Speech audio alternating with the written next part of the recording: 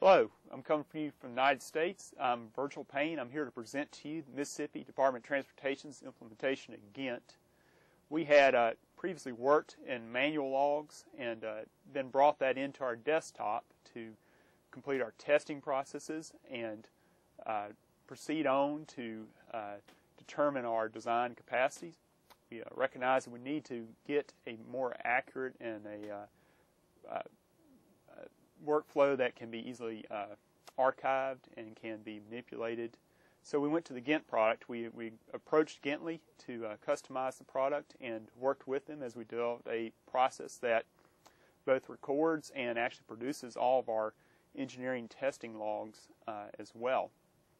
So previously in our process, we had taken our fill logs, which we still rely on, and gone through, error checked them, consulted the site, topography, and uh, other maps we have of the state, and gone on and produced an Excel sheet, which we then used in our internal engineering office. This process uh, typically could be subject to losing uh, documents and also was you know subject to having errors and replication.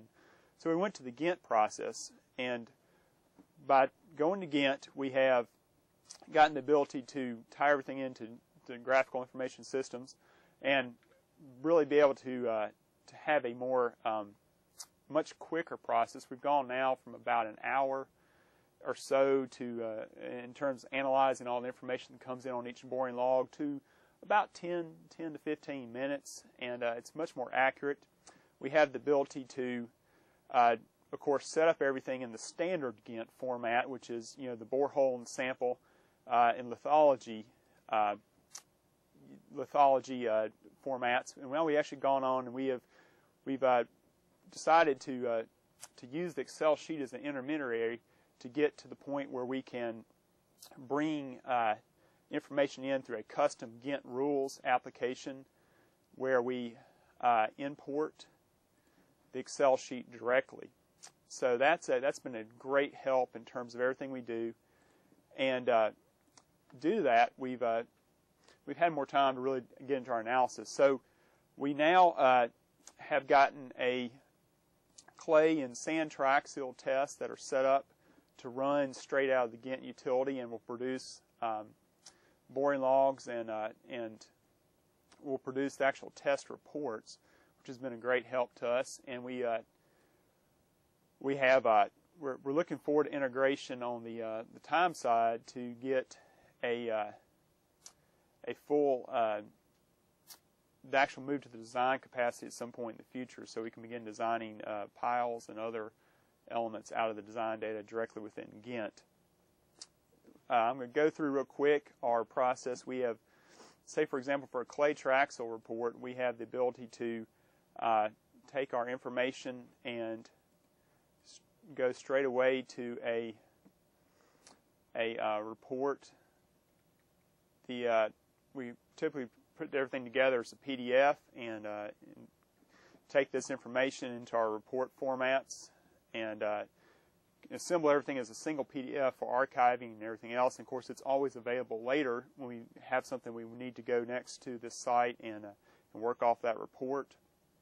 The uh, the ultimately what we're trying to do is we're trying to get to a boring log, and so I'm going to show you our our log report the log reports have been a great help in terms of being able to push our information out. If we revise it, we can come back quickly and revise the report and get it to the uh, to the field for use. Uh, you can see the report here, and by doing that, it, we've uh, we've got the ability to really alter our workflow. So instead of having to worry about continually redoing uh, reports as new information comes in, we can go ahead and get a preliminary report out and come back in and as we add information, re- revise that report to published final uh, version that goes to the bridge designers and roadway designers for their use.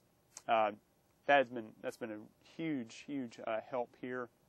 The uh, just going to talk a little bit about the process of customization. During the customization process with Bentley, we went through and uh, we told them what we wanted. We sat down and showed them our existing workflow. We went through and uh, and at each stage, we kind of worked on the different modules and brought those modules to the point where they were able to be um, we test each module individually, and, and Bentley was really it's a back and forth process because you can imagine it's it's quite difficult to go through and and work through uh, uh, the, the, exact you know we have a certain format we liked it into. Bentley got the graphics exactly as we wanted, and worked through the actual programming behind and the customization process so that we could produce a report that would uh, would work um, so that that there was no there's no real the implementation was seamless I guess is what I'm trying to say. And and once we had the gINT product up and running and we're able to bring everything in we did not have to worry about uh, was it going to change the way our data was presented the data was all Bentley's product with the customization was able to meet our data uh, workflow. And that's been that's been a huge uh, help in terms of dealing with our consultants and other people who use our report making sure that they're they're happy with the output.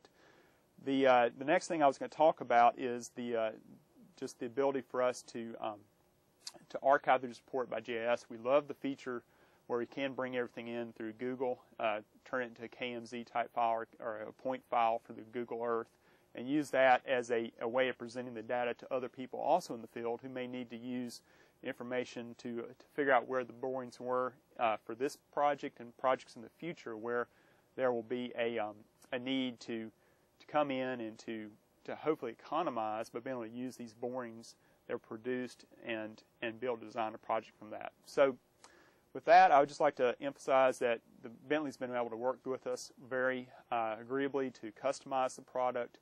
We really like the way that all the data is brought in and checked and is put out as a, a finished product. And through that, we've been able to, to make the transition very seamlessly and have been able to go to production throughout the office uh, within just a matter of a few months, which is which is great considering the amount of workflow we have coming through. So I'd like to uh, thank Bentley's uh, customi- customizing team and their work on this, and uh, present it for your consideration.